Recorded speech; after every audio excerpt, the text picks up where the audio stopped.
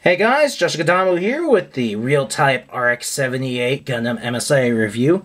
Cool thing about the uh, Real Type series is that there's three of them. There's the Real Type RX-78, as you see before you. There is the Real Type Gun Cannon and the Real Type Gun Tank, which are similar color schemes and very cool. Something you may not know, also, um, if you want to see the reviews for those, just look to the right. Maybe they're automatically there, or you can search for them real type gun tank, MSIA review, gun tank, or gun cannon real type, you know, etc.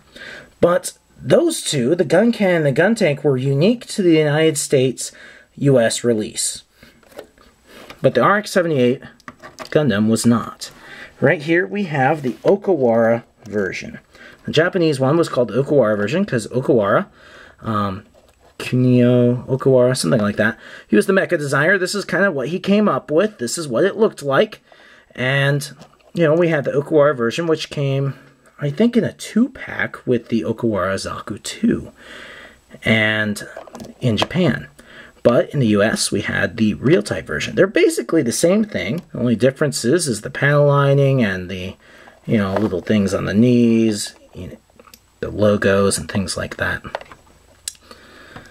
and their articulation is exactly the same. Something to note is that there's also a Okawara version, uh, extended MSIA version, and there is an RX-78-1 uh, version 2, which is the most unique of all of them.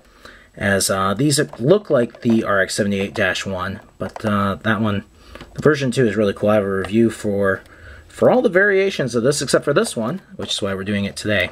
So this was the US release, basic RX-78-2 version 1 in a different color scheme. There's no unique weapons or anything like that, but I feel like the black is really cool.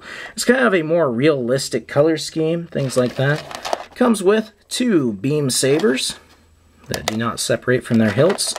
One bazooka, which comes with a, a darker color scheme, I do believe could be wrong on that. I think there's it's an off-white that makes these kind of unique. Spot to plug it in in the back either way. You have our little thrusters that move and you gotta make sure you don't lose them.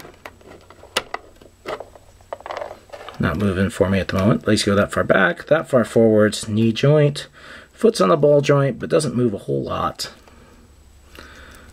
The waist can turn 360 degrees. Beam rifle can go in the right hand. Um, it could be held in the left hand, but it'd be a little harder. Shield fits in there well. Shield can separate, plugs into the back, which is nice.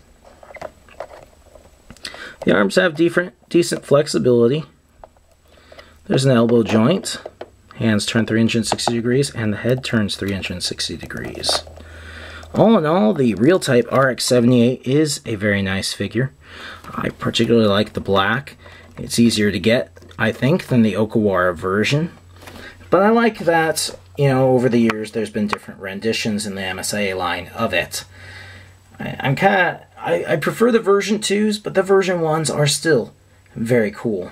And this is a very nice figure. It finishes off your collection if you have the uh, real type gun cannon and real type gun um, gun tank. Oddly enough, the real type gun tank and the real type gun cannon actually have more value than this guy. Um, as a collector's. Maybe just because this is a version 1 Gundam and you know, has its limitations. But, very cool figure, very neat. Uh, if you don't have one, you should try and get one. And if you're looking for Gundam MSI action figures, make sure to check out our eBay store, Gundam R Us, your favorite arm dealer, where we have all kinds of cool toys, not just Gundams, and we get new stuff all the time.